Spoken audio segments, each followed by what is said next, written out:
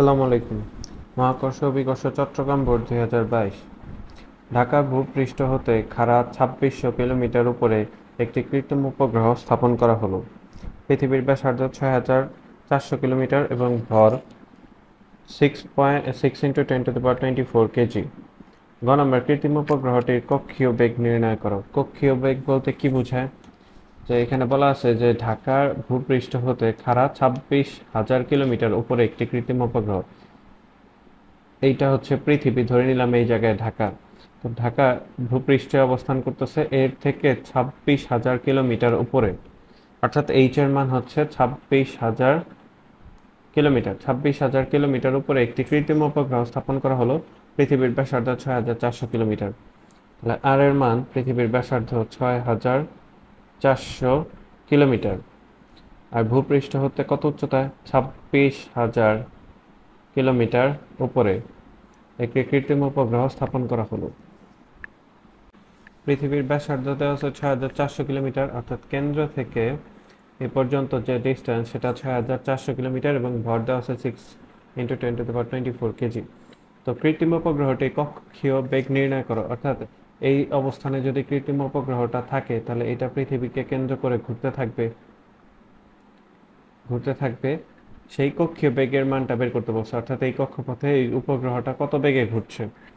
বেগ V এইটা is equal to root over G M divide হচ্ছে R plus H কক্ষীয় বেগ বেগ নির্ণয়ের সূত্র এটা। জি হচ্ছে মহাকর্ষীয় ধ্রুবক ইন্টু এম এম এর মান six into ten to the power twenty four kg R এর মান হচ্ছে ছয় হাজার চারশো কিলোমিটার ইন্টু টেন কিউব মিটারে নিলাম। এর সাথে এক হাজার দিয়ে গুণ করলে মিটারে আসবে। আর এখানে হচ্ছে ছাব্বিশ হাজার কিলোমিটার দেওয়া আছে। ছাব্বিশ হাজার গুণন হচ্ছে টেন কিউব এটাকে যদি আমরা ক্যালকুলেশন করি, তাহলে হচ্ছে বেগ কত আসে? কনস্ট্যান্ট থার্টি নাইন এটার সাথে গুণ হচ্ছে six into ten to the power twenty four এটাকে ভাগ দিব six four zero zero into ten cube এর সাথে যোগ হচ্ছে ছাব্বিশ হাজার ইন্টু টেন কিউব এটাকে রুট করতে হবে তিন হাজার পাঁচশো পনেরো দশমিক তিন এক তিন হাজার পাঁচশো পনেরো দশমিক তিন এক, এটা হচ্ছে মিটার পার সেকেন্ডে আসছে। এটাকে যদি কিলোমিটার পার সেকেন্ডে নিয়ে আসি তাহলে three point five one five point three one kilometre sorry three one kilometre per second three point five one five three one kilometre per second তাহলে ওই উপগ্রহটি, কৃত্রিম উপগ্রহটি এত বেগে three point five one five three kilometre per second বেগে পৃথিবীকে প্রদক্ষিণ করছে। ভ নম্বর কোশ্চেন উপগ্রহটিকে সবসময় ঢাকার উপর দেখা যাবে কি? গাণিতিক বিশ্লেষণপূর্বক মতামত ঢাকার উপরে এই বিন্দুতে দেখা যাবে কিনা সবসময়, সবসময়ের জন্য। অর্থাৎ পৃথিবী তো নিজ অক্ষে একবার চব্বিশ ঘন্টায় ঘুরছে। এই কৃত্রিম উপগ্রহ এখানে যদি স্থির অবস্থায় থাকে, তাহলে ঢাকার উপর স্থির থাকবে না। তাকেও কি করতে হবে? ঢাকা যেমন এই উপগ্রহ পৃথিবীর এই প্রান্ত থেকে এই প্রান্তে আসতেছে, অর্থাৎ নিজ অক্ষে একবার ঘুরতেছে, ঘুরতে চব্বিশ ঘণ্টা সময় লাগে।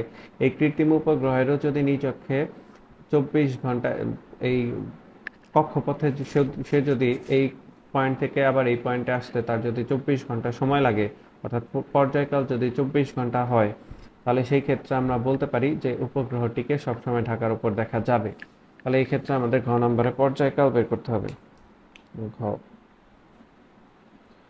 পর্যায়কাল।